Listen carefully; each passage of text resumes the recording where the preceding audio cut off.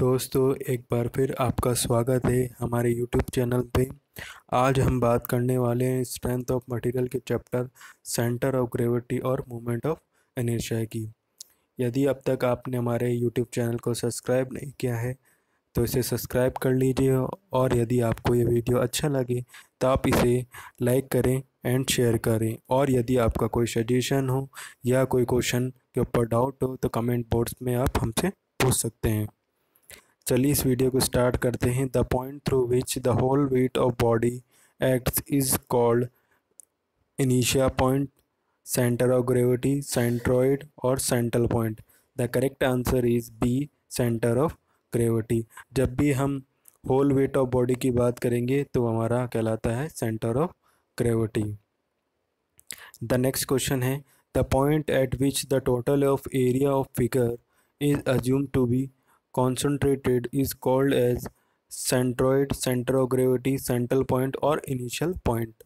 तो इसका correct answer है सेंट्रॉइड तो यदि आपके इससे दो क्वेश्चन प्रिपेयर हो जाते हैं, जब whole weight of body consider की बात की जाएगी तो हम करेक्ट आंसर क्या लगाएँगे सेंटर ऑफ़ ग्रेविटी और जहाँ एरिया ऑफ़ फिगर की बात की जाएगी, वहाँ हम करेक्ट आंसर लगाएँगे सेंट्रॉइड की. चलिए नेक्स्ट क्वेश्चन के ऊपर where will be the centre of gravity of L section show in figure ये एक न्यूमेरिकल टाइप का क्वेश्चन है, जिसमें आपसे सेंटर ऑफ़ ग्रेविटी मतलब कि आपसे दोनों एक्सिस में इन्होंने वाई वन वाई और एक्स की वैल्यू कैलकुलेट कराई है with respect to X axis और वाई एक्सिस जहाँ हमने यहाँ एल सेक्शन पूछा है, इस तरह का कोई आई सेक्शन जेड सेक्शन भी हो सकता है। आप एक्सप्लेनेशन में डायरेक्टली देख सकते हैं कि इस वैल्यू को कैसे कैलकुलेट किया है तो इसका करेक्ट आंसर है two point three three and four point three three अब नेक्स्ट क्वेश्चन है what is the moment of इनिशिया of a circular section तो है pi D four upon sixty four pi D cube upon thirty two pi D cube upon sixty four pi D four upon thirty two the correct answer is pi D four upon sixty four अब इसी तरह के में moment of अनेशिया आपका I section से भी पूछा जा सकता है ट्रायंगल सेक्शन से भी पूछा जा सकता है रेक्टेंगुलर सेक्शन से भी पूछा जा सकता है। तो आप उस तरह के क्वेश्चनों को भी इसमें प्रिपेयर कर लीजिए। चलिए नेक्स्ट क्वेश्चन के ऊपर चलते हैं। What is the moment of अनेशिया of a rectangular section about the horizontal axis through centre of gravity इसमें दिए गए ऑप्शन दिए गए ऑप्शन दिए गए हैं। इसका करेक्ट आंसर है B D cube upon twelve the moment of अनेशिया of a rectangular section about the horizontal axis through center of gravity is bd cube upon 12 the of of inertia of rectangular section about in horizontal axis passing through base is bd cube upon 3 तो यहाँ से आपके दो question prepare हो जाते हैं दोस्तों। एक, जब आपका क्वेश्चन मोमेंट ऑफ़ अनेशिया सेंटर ऑफ़ ग्रेविटी के रेस्पेक्ट में पूछा जाता है रेक्टेंगुलर सेक्शन के लिए तो वो होता है B D cube upon twelve और यही क्वेश्चन यदि बेस से पूछा जाए तो वैल्यू होती है B D cube upon three चलिए नेक्स्ट क्वेश्चन के ऊपर. What is the moment of अनेशिया of a rectangular section about the base अब आपको इस चीज़ पे गौर करना है कि यहाँ जो ट्रायंगुलर सेक्शन का पूछा गया है, ये सेंटर ऑफ़ ग्रेविटी से ना पूछ के बेस से पूछा गया है। तो दिए गए ऑप्शन में करेक्ट आंसर है B H cube upon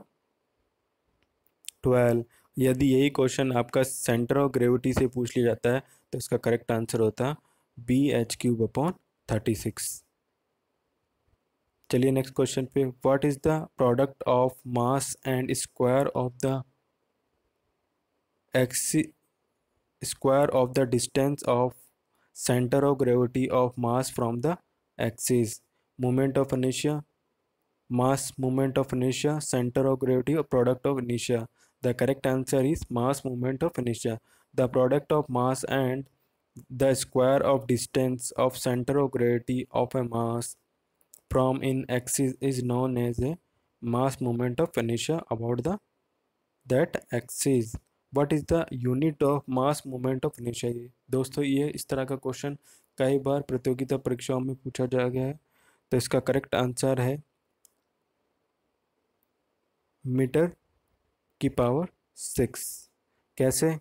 Moment mass movement of inertia की डेफिनेशन के हिसाब से it is the product of moment of inertia and area तो अपना moment of inertia L four और एरिया हो जाएगा एल स्क्वायर तो प्रोडक्ट कुल मिला के जो बनेगा वो एल सिक्स बनेगा. तो यूनिट हो जाएगी metre six the product of इनिशिया at a principal axis अब ये पूछ रहा है कि जो प्रोडक्ट ऑफ़ इनिशिया होता है प्रिंसिपल एक्सिस पे उसकी वैल्यू क्या होती है? मिनिमम होता है यूनिट होता है ज़ीरो होता है या मैक्सिमम होता है? तो इसका करेक्ट आंसर है ज़ीरो क्योंकि जो मोमेंट ऑफ़ इनेशिया एक्स एक्सिस और वाई एक्सिस के अबाउट होता है ज़ीरो तो इनका जो प्रोडक्ट बनेगा वो भी क्या होगा? ज़ीरो तो एक्सप्लेनेशन में दे रखा है कि the moment of इनेशिया about X axis and Y axis on the axis they are zero ठीक है? So the so the product of इनिशिया will be zero in the principal axis दोस्तों आई होप आपको ये question पसंद आए होंगे। यदि आपका कोई डाउट है सेंटर ऑफ़ ग्रेविटी और सेंट्रॉइड में से रिलेटेड तो आप हमें कमेंट बॉक्स में डाल सकते हैं। हम उस तरह के क्वेश्चन को ला के आपके डाउट क्लियर करने की कोशिश करेंगे। Thanks for watching